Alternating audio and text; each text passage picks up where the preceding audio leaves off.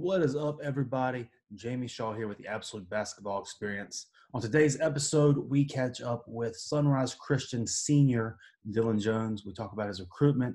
We talk about the food differential between Kansas and South Carolina, and we talk about his recruitment. Before we get into it, though, I ask that you please subscribe to the channel and then click the bell so you get the notifications for all the new videos that we have coming up. We have a great lineup of uh, stuff coming out every single day. Um, don't want to miss that. Um, and then also, too, if you would add in the comments who your favorite player from the state of South Carolina is over the past 10 years. It's been a long line of them from Zion to Ja and Aaron Nesmith to PJ Dozier to Darius Thornwell, Tevin Mack. The list goes on and on and on. Who is your specific favorite one? Want to hear want to hear your thoughts in the comments. Um, and if you enjoy this interview, please be sure to share it across your platforms. Um, that would be great. We would love for you to, to do that. Uh, but without further ado, here is our conversation with Sunrise Senior Christian Dillon Jones on the Absolute Basketball Experience with Jamie Shaw. Hey, what's up, everybody? It is Jamie Shaw here again at the Absolute Basketball Experience. Today, we are joined here by Sunrise Christian Senior Dillon Jones. Dillon, how you doing today? I'm doing good. How are you? I'm good, man. I'm trying to figure out this whole quarantine thing. It's uh, it's it's boring and monotonous, and I just don't have the imagination to to to, to stay fun. right. Got to find a way, though. Got to find a way. Absolutely. What, so, what are you doing to stay active during the quarantine? I lift twice a week with my uh, strength training coach. Mm-hmm. Um, he's he he has a thing for accelerated um, physical therapy, mm-hmm. so we're able to still get it in. And um, I've been doing little stuff on my own, just running, uh, even like taking it to the stream and working out on outside courts. You know, tough. Eventually, like um, you almost like get it uh what's the word? You get exposed to how much you like to grind you know? And uh so when you're gonna do any you're gonna do it by any means necessary so no doubt. yeah. are you are you in columbia now or are you out in kansas still? I'm in columbia. I got you good. Uh, who you working out with in columbia so i work out with you know coach savage oh yeah uh, rod rose yeah oh yeah all, all the good ones right and, and i do my strength coach training with um athlete serena Good. Right. And Jason Bro. Gotcha. No, that's awesome. Yeah, I know Rob and Christian both that do a good job. Um, what video games you playing now? I'm not a video game guy, actually. I'm not either. I'm not either. I, I don't. I don't play video games. Yeah, that's good, man. See, I, I, don't either. I never got into it. I know everybody's doing it, so. Yeah, a lot of oh. school. So let's let's go way back into it. Start off with your Keenan days. Y'all had an unbelievable run. Your three years there, you were 74 and 13 culminating with a 30 and one uh, junior season and a state championship. Keenan has known through the state of South Carolina for the basketball program. Oh. Where does your 30 and one team line up all time with the Keenan basketball teams? If I said, I'd say we the best. but like, um, it was a lot of good teams. Like, you know, I seen I seen my brother them who went back to back. Mm-hmm. That was arguably a good team, and it was a lot of great teams before that with Buddy Harper, even Ryan Norris, Thurman Zimmerman. Um, I mean, but our record speak for itself. I don't know if anyone ever went 30 and one and uh, did we did, and we was able to win a championship. But um, it was it was it was good though. I mean, Coach Norris said that we were the best team. Yeah. That thing. So uh, we we were, we were, we were good though. I think if we was the ranking, we'd be up there for sure. No one can deny that. And what um, was it? What was it about that team? You think with you and Raekwon and Asante and Jason and everybody? What was it about that team that made it special? Honestly, we clicked in the summer, mm-hmm. and it was just something like we like we kind of didn't really know. We didn't even know. You know, we were just kids. Honestly, yeah. we were just playing in in the summer.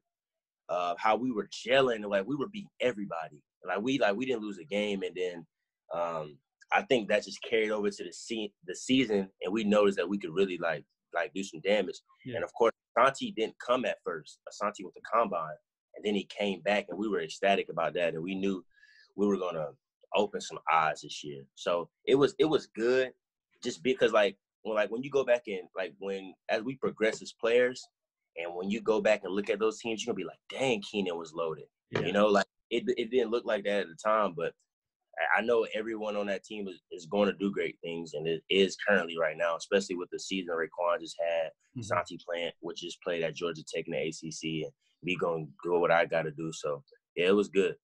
Uh, that's awesome. Yeah, no, absolutely. Y'all, y'all seem to have a, an unselfish chemistry that really everybody was playing for each other. Yeah, for um, sure. With that team. Uh, and then moving forward, I guess to the AAU season, y'all had another just absolutely loaded team. Um, you know, you got guys going to Clemson and Butler. You got you know uh, Emory at Charleston Southern, and you got Isaiah going where he's going, and Patrick going to South Carolina. The list goes on. Um, what is it about you just playing with incredible amounts of talent and not not coming off the floor? Let's just say I provide something that is undeniable. Like no matter, I like me being as as, as high as the IQ I have, mm-hmm. I'm able to know multiple positions. Yeah. So it's kind of hard, and I'm every time I'm on the court, I'm solid. So it's kind of hard to take me off, honestly. Um, like if let's say Miles need a break, which he rarely does, I can play the point, or if we need to go small ball four, I can slide in at the four. And like it's just it's just so many things I can do. It's just kind of hard to take me off, and it's not like I'm out there like wilding or doing something I'm not supposed to be. No, I'm just I'm just playing the game. So um, it's kind of I just it's just a true testament to who I am. No, no doubt. Um, and, and, then coming out, you had the tough decision. Obviously, you grew up playing with all these guys and everything. You had the tough decision to transfer out to Sunrise. What was it that went into that decision for you? So, I didn't talk to Sunrise till after um, the state championship, and you know me, I'm just just want to state. I'm not thinking about transferring, and um, I just had to just think about like, I guess my future Mm-hmm. Um, Sunrise was a was a was a future decision, not a right now. That was a basketball decision for where I see myself in the future.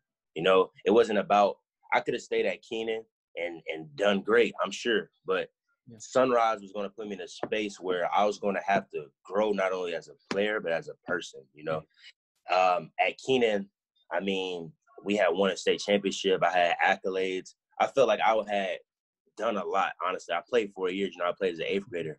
So I had done a lot for Keenan already. So um, the hardest part was honestly leaving like Coach Norris, you know, like that was like coach like he took me in. Even like when my brother was playing, I was a water boy, you know, like I was on the court and state championship and stuff. So that was the hardest part, honestly. But um I had to make a, a business decision, honestly. Like I had to grow. I knew that as a person. I, I knew that internally that I had to grow. So it, that's ultimately what it came down to. Absolutely. And then looking back on it from the day that you decided to go to Sunrise to this conversation right now, how would you say your game's improved? Uh, I'm able to shoot the ball better. Mm-hmm. Um, and I think that just opened up a lot more things in my game. So like me as a player and everybody know I can pass and dribble. So if I'm able to even knock down the shot and the team got to run me off the line, then I'm able to drive closeouts and make plays for my teammates and stuff. It just opened up a lot for my game. Mm-hmm. Um, obviously, I play with a lot of great players at Sunrise, so um, they obviously were like defensively. I got better. I lost weight, so I'm able to guard multiple positions. Like it was just a overall, I got better. But in the main areas, I could say shooting and my body, I got I was in shape. So. Yeah. Yeah. And I was about to say, uh, every time I look on like verbal commits or something, it seems somebody from Sunrise is getting some sort of Division One offer, submitting, and all that kind of stuff. What is the environment like out there? What is the environment in practice like, in the competitive nature that you know, if you know that you screw up on the court, you got a D one player behind you that's ready to go. Right. So, so that was the thing. Like, I mean, everyone knows that I had a like a, I had a bad attitude before I went to Sunrise, and um, it was basically like I grew because I couldn't do that because mm-hmm. if I did it, I wouldn't play. You know, like my coach is gonna be like, like I don't need you. Like he won't say that, but like you don't need me. You know, like he got another top forty player behind me. You know, so I had to grow up and recognize that, and that helped everything.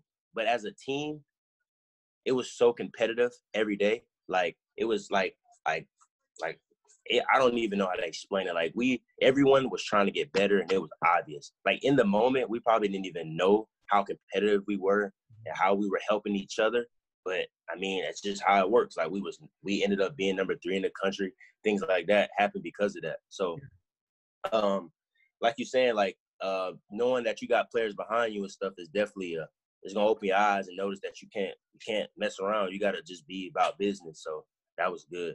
And how would you say that, you know, taking your senior year, going out there, Um, obviously, you played on the Adidas Gauntlet and stuff, so you, you're acclimated to traveling. But having an entire season, having to juggle schoolwork, having to juggle making the grade, having to juggle travel all over the country, how would you say that got you prepared and acclimated for a college uh, type of thing? Definitely. That's why that Sunrise is very underrated for doing that. Because mm-hmm. my school was that was the hardest thing I've ever experienced. Probably, like you know, like a lot of people like to tab the prep school thing and think you don't really do nothing, but uh, Sun uh, Sunrise prepare you with basketball, but it might prepare you even better academically. So um, learning how to like manage your time and stuff that was definitely a part because like you're secluded from so much that's going on at home. You're able to like kind of lock in and like grow new habits basically. Sure. You're able to you're able to like inherit new things and, and have good habits. And uh, that's basically uh, how it happened.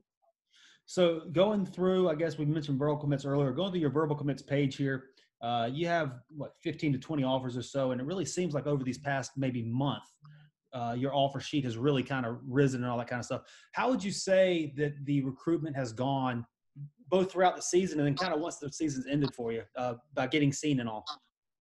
So throughout the season, like I didn't really have a lot going on, honestly. Like, mm-hmm. um, like I like a lot of stuff I had early on had honestly fell off which was fine. But they helped me as a player, like I said. Like I had to grow. I had to basically reinvent myself and claim new. Like I had to be a new player. I had to, and basically I was starting from ground, like from the groundworks. I was starting from 0 mm-hmm. and I and I like that. So as the season went on, we were planning events, and it's crazy. Like probably the top, the top two events is probably my two best games when we play cancer research and I play and we play La Lumiere and I have I win MVP Mm-hmm. Um, when we play in hoop hall, I have eight. I go two for two from three. You know, like stuff I've never done before, and um, that really, at the time, nothing was really shaking. But I knew that I just had to stay true to myself. Like I just had to stay with it because I like I worked every day, so I just had to just stay true to my grind. I couldn't like lose focus basically because honestly, I didn't have a lot going on during the season. But after the season, I definitely reaped the benefit. So. And it seems like your recruitment kind of peaked, went yeah. on the rise right when the coronavirus and the quarantine came uh-huh. into play and stuff. How have you been able to navigate through the waters of developing relationships? I mean, you're, you're going to spend your next four years at this, whatever school you go to and all. How have you spent your time navigating through the relationships and understanding the programs and all that stuff without taking visits? It probably was a, it, my perspective was almost was a good thing because it kind of eliminates like the the stuff that doesn't matter Mm-hmm. You know, like every campus is like, if we're gonna be honest, every campus is the same. Like you're gonna go to school, you're gonna do work. Like that's how I view it. Mm-hmm. So like, let's say I go visit somewhere that's just blow like blow like off the charts, just yeah. crazy. You know, I'm I'm probably gonna commit, but it's mm-hmm. probably not the best basketball decision. So me being able to take away what me being able to visit, I looked at it kind of as a blessing, honestly, because I was able to navigate through the real and the fake. I was able to filter it. I was able to, you know, see the see the real. I, I had to make my decision solely on basketball. Mm-hmm. I couldn't do it on if I like the campus or how big the gym is or where I'm sleeping at. You know, it was a solely basketball decision. Yeah, and that's a you know that's a blessing of a way to look at it, I guess, and ability to now. Um, so I, I, guess most recently coming through Bryant, Weber State, Western Carolina, Grand Canyon, Missouri State, UIC what what are these coaches telling you for how they want you to play? What type of role do they want you to come into, and how do they how do they see you? You, you said it before, and we all know you have a very unique game. Uh-huh. How did these guys see you fitting into what they're doing, and what are they telling you? Basically, the more like kind of like the more positions I know, the better off I'll be. Because like I'm the type of player that you can't put me in a box. You know, you can't say I'm this position or whatever. It's just not going to work. So me me knowing multiple positions is going to help me a lot but also me being a mismatch like it's just where the mismatch is i'm like a mismatch plug basically yeah. you put me we could play small ball four and i can have a four close out on me and you know that's not going to be a good idea and i can have a play the point and have smaller guards guard me and we could just go to the post it's just it's just like a lot of things like just me being a mismatch it's just like you can use me in so many different ways so that's what they've been ex- expressing the most and so, then in your research and stuff, what type of system do you feel like you would perform best in? Um, probably four out, one in. Mm-hmm. Um, but that's kind of like how basketball has evolved right now. Just a regular four out, one in. Um, obviously, you want to play in those so you can uh, attack. That's kind of what we played at Sunrise, but uh, so you can attack and you know uh, play play with pace, basically playing flow. So probably four out, one in. I got you. So, and looking at it, I guess transitioning back over to some some general conversation. Uh, the state of South Carolina uh-huh. um, uh-huh. has really picked up recently with the amount of basketball talent they're producing. Uh, last ten years or whatever, you know, you got the like obviously Ja Zion. You know, you got the likes of um, you know PJ Sindarius. You know, yourself, Asante. Um, all these guys are going high level basketball. Why do you think that is? That uh, you know, all of a sudden now the talent's getting seen and it's uh, really getting to be a high level? Um, it's a saying that they used to say, Kurt say it all the time. Uh, the cream of the crop will always rise to the top. Like mm-hmm. it's just how it, it just always happens. Like when players go to these schools like Zion or Ja, like like it just levels out. Like you're gonna see the real. And uh, we know that South Carolina, like especially like before then, was really nobody. Like it was like maybe one here and there, but nobody was like really like it wasn't no like no pathway created. Yeah. So like when you look at Ja do what he do at uh, mid major and Zion obviously just paved the way for a lot of people. It's like gives people hope, you yeah. know, and, and and so like we're good, but the younger kids probably going to be even better because mm-hmm. they see it. Like when we were coming up, we seen it, but we didn't really see it. Yeah. Like no one was really like going to the NBA when we were coming up. But like now, like you got the little kids seeing Ja and Zion, they gonna see like it's a way, you know? Yeah. Like when we I don't I don't even the first player I remember going to the league when I like was in high school was probably like Sindarius and like PJ and yeah. I'm pretty sure more before that. I just can't remember, but those were the main ones, you know. And by then I was in high school. Yeah, probably what Raymond Felton was probably the one before them. Maybe yeah, Ramon Sessions, but he didn't really have it like that. Exactly. It was a while ago. So like we didn't really see nobody like pave the way. Mm. But like them guys seeing like people like really do it, it's gonna be they're gonna be even scarier. Yeah. So. yeah, no doubt. So uh coming back from Kansas, you huh? land in Columbia. Where's the first place you're going to grab a meal at? My mama house. And what's she cooking? Macaroni. Can't beat it Macaroni and some pork chop. That's that southern food. I got to stay off that. Oh man, hey, that's that good stuff though, man. They they don't know about that out in Sunrise. Yeah, no, they don't. They think they, do. they don't know nothing. I think I was the. I might have been the only person from the south.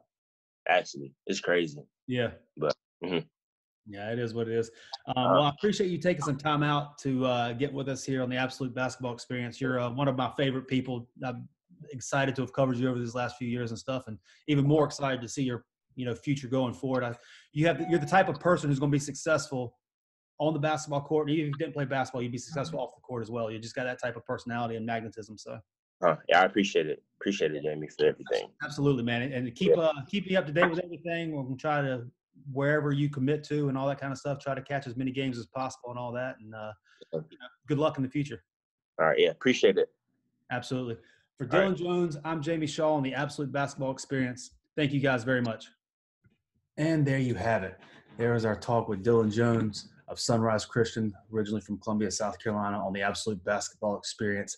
Great talk. We were able to peel back the layers and really, uh, uh, you know, get in with him, get to know him, and you can see how cerebral and how how, how thought um, thoughtful he is with with what he says and what he does, and, and how charismatic and all that kind of stuff he is too. So we expect to have a see a great career coming from him uh, whenever he chooses his, his school and wherever he's going and all that. Um, but if you haven't already, please be sure to subscribe to this channel. And if you enjoyed this interview, please share it across your platforms. We want everybody to hear all about Dillon and, and all the good stuff that he's doing and, and is going to continue to do uh, in the future. Again, in the comments, we want to hear who your favorite player from the state of South Carolina is over the past 10 years. Tons to choose from, tons of talent coming through. We want to hear what you think. With, uh, but Thank you very much for tuning in. I am Jamie Shaw for Dillon Jones. This is the Absolute Basketball Experience. Thank you.